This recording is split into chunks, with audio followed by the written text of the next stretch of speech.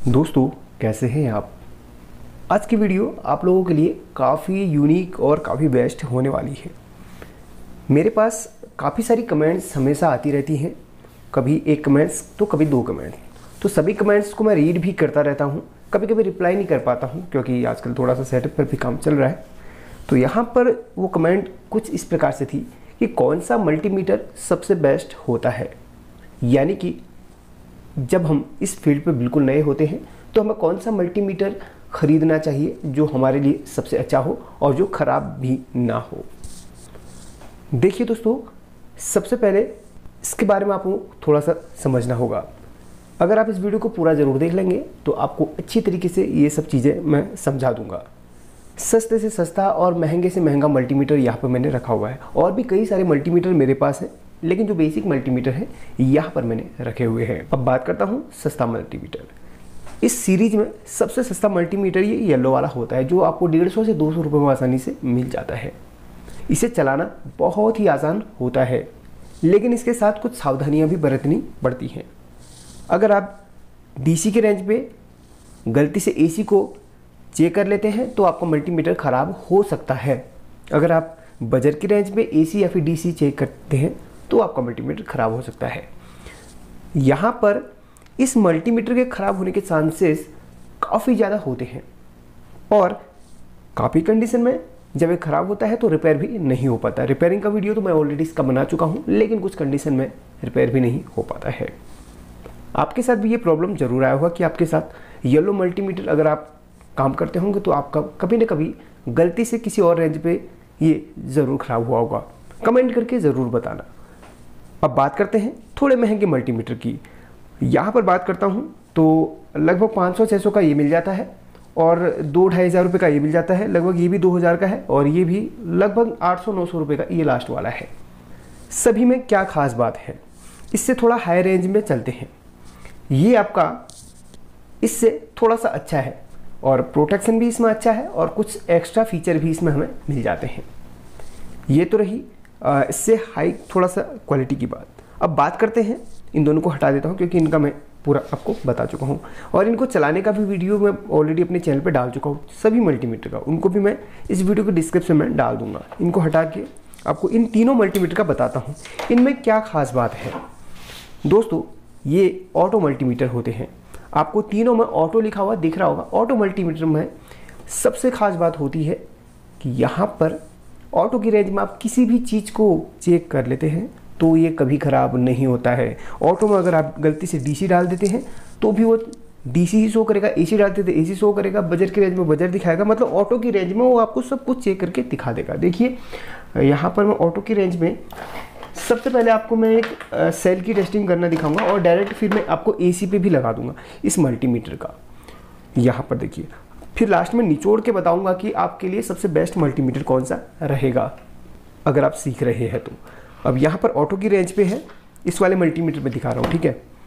ये देखिए प्लस और माइनस मैंने यहाँ पर लगा लिया तो यहाँ पर डायरेक्ट डीसी दिखा देगा। ये थ्री वोल्ट इसके अंदर है three point zero seven zero zero eight volt यहाँ पर अभी इसके अंदर मौजूद है।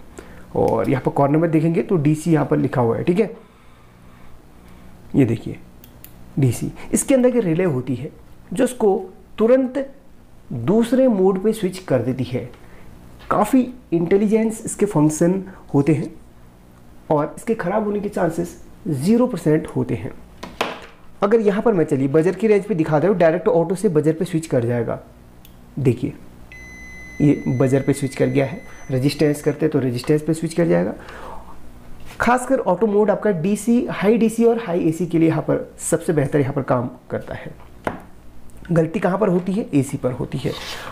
यहाँ पर एक स्विच बोर्ड है मेरे पास। देखिए 220 वोल्ट इसमें एसी आ रहा है और अचानक से इसको ऑटो मोड में 220 वोल्ट एसी में डाल दूँगा तो यहाँ पर 220 वोल्ट पे स्विच कर जाएगा अचानक से। देखिए, अगर एक प्रोब भी डालता हूँ तो भी यहाँ पर दिखाने लगेगा।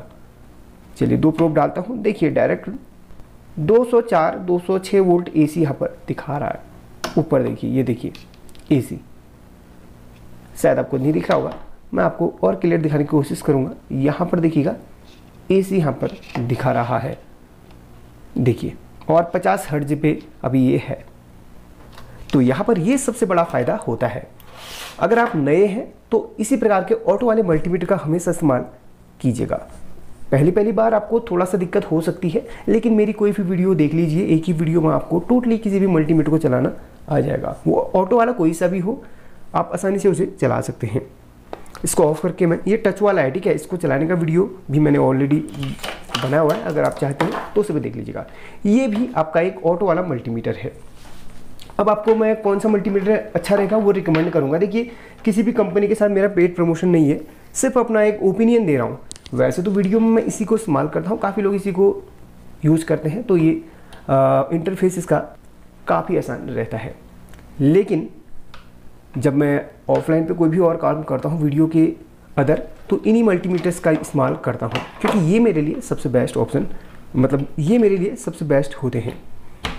अब यहाँ पर देखिए ऑटो मोड पे है। आ, सबसे पहले चलिए बजर ही आपको दिखाऊँगा। ये बजर है और इसी में आपको डायरेक्ट डी सी का दिखाऊँगा। ऑटो मोड पे डी सी तीन वोल्ट और काफ़ी फास्ट इसका परफॉर्मेंस है। एक चीज़ बता दूँ, इस वाले मल्टीमीटर का परफॉर्मेंस और रिस्पॉन्स काफ़ी फास्ट है, देखिए। ये देखिए टच करते ही थ्री वोल्ट इसने दिखा दिया टच करते ही, बिल्कुल। कोई भी ज़्यादा टाइम नहीं लगा। और बजर का भी बिल्कुल फास्ट इसका रिस्पॉन्स है। बजर का रिस्पॉन्स काफ़ी फास्ट है। अभी डायरेक्ट मैं एसी में लगाऊँगा इसको, देखिए। ऑटो पे ही। तो यहाँ पर देखिएगा, एक मिनट काफ़ी छोटी प्रोब है इसकी। देखिए, कितना है? एक सौ एक सौ सतानवे अठानवे दो सौ चार वोल्ट एसी आ रहा है। True R M S true reading यहाँ दिखाता है। ठीक है, इसकी नोब थोड़ी सी छोटी है आग की टॉप वरना ये हिल हिल रहा है बार बार चलिए, इसको सही से मैं कनेक्ट कर लेता हूँ एक मिनट। हाँ लाइट आ रही है इस पर इसकी प्रोब थोड़ी छोटी इसलिए यहाँ पर सही से कनेक्ट नहीं हो पा रहा है। चलिए। एक सौ, कितना? वन सिक्सटी दिखा रहा है। तो यहाँ पर इतना ये एसी को दिखा रहा है। ठीक है? आ, तो इस तरीके से यहाँ पर हम इसकी टेस्टिंग कर सकते हैं। और एक चीज़ है एक और हमारे पास सॉरी मल्टीमीटर है। इससे भी हम टेस्ट करेंगे इसकी प्रोब्स ये है ऑटो की रेंज पे इसको हम चेक करेंगे। कॉम या फिर कॉमन ये वोल्टेज का। डेट हम एसी की टेस्टिंग करेंगे ऑटो की रेंज पे। शायद आपको दिख रहा होगा। इसकी प्रोब्स ठीक है, ये थोड़ा सा लंबी है। नोब सॉरी देखिए 224 वोल्ट यहाँ पर दिखा रहा है। 224 वोल्ट दिखा रहा है, ठीक है? ट्रोली एक मिनट, सही से कनेक्ट नहीं हुआ है। एक मिनट सॉरी दोस्तों। ये सही से कनेक्ट नहीं हो रहा बार बार हिल जा रहा। है इसलिए यहाँ पर ट्रू रीडिंग नहीं दिखा पा रहा था। अब आएगा। 205 वोल्ट, देखिए, अब ठीक है। 205 206 वोल्ट भी आ रहा है। तो इस तरीके से हम एसी की टेस्टिंग कर लेते हैं। चलिए, एक बार इसमें भी आपको दिखा देता हूँ। उसमें थोड़ा सा वायर हिल रही थी। देखिए ऑटो पे है डायरेक्ट ऑटो पे। देखिए 207 वोल्ट को हम दिखा रहा है फास्ट तो इस तरीके से हम इन मल्टीमीटर में ऑटो की रेंज में कुछ भी आसानी से चेक कर सकते हैं। अब बात करते हैं, कौन सा मल्टीमीटर आपके लिए सबसे बेस्ट होगा? यहाँ पर जितने भी मल्टीमीटर रखे हुए हैं, सभी के सभी थोड़ा सा बजट में होते हैं। जितने भी ऑटो वाले आते हैं, थोड़ा सा महँगे आते हैं 500 700 रुपए के ऊपर से ही आपको मिलते हैं। लेकिन अगर आप एक बार पैसा इन्वेस्ट कर लेते हैं तो मल्टीमीटर आपका लाइफ टाइम चल जाएगा, अगर आप केयर करके रखते हैं तो।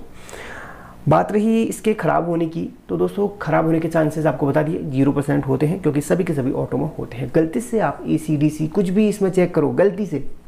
तो आपका ये कभी भी कोई भी ख़राब नहीं होगा, सिर्फ़ वो ऑटो वाले। ठीक है? बाकी इन दोनों के चांसेस ख़राब होने के काफ़ी ज़्यादा होते हैं, क्योंकि इनमें एक एक्यूरेट फ़ंक्शन दिया होता है, जहाँ पर एसी आपने टेस्ट करना है, वहाँ पर ए ही करेंगे डीसी की जगह डीसी ही करेंगे, और रेजिस्टेंस की जगह रेजिस्टेंस करेंगे। तो नॉर्मली सभी के यहाँ पर मोड दिए गए हैं।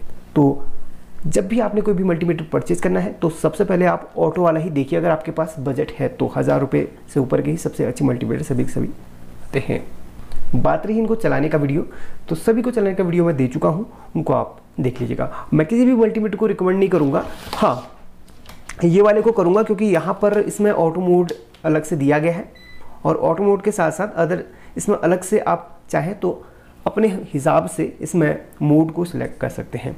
जैसे ऑटो में तो सभी चीज़ें आपको दिखाएगा ही दिखाएगा, लेकिन कोई और अदर आपने एम्पियर चेक करना है हर्ट चेक करना है और अलग से कोई सेपरेट ऑप्शन पे आपने स्विच होना है तो यहाँ पर ये मल्टीमीटर आपके लिए बेस्ट होगा।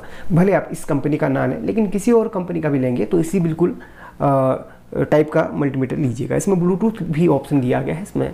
वो तो एक अलग सी बात है।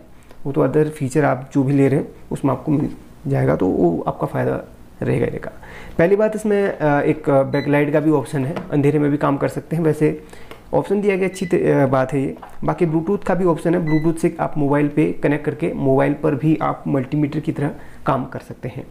उसका वीडियो मैं ऑलरेडी बना चुका हूँ, उसको ज़रूर देख लेगा। अब आप कमेंट करके बताइए, आपके लिए सबसे बेस्ट मल्टीमीटर कौन सा है? बाकी मैं यही कहूँगा, जब भी आप मल्टीमीटर लेंगे तो ऑटो वाला ही मल्टीमीटर ले लीजिएगा। और ये मल्टीमीटर आपके कितने ख़राब पड़े हैं, कितने ख़राब हुए कमेंट करके ज़रूर बताना आपकी कमेंट्स का। मैं हमेशा वेट करता रहूँ। प्लीज़ कमेंट कर दीजिएगा थैंक्स फॉर वॉचिंग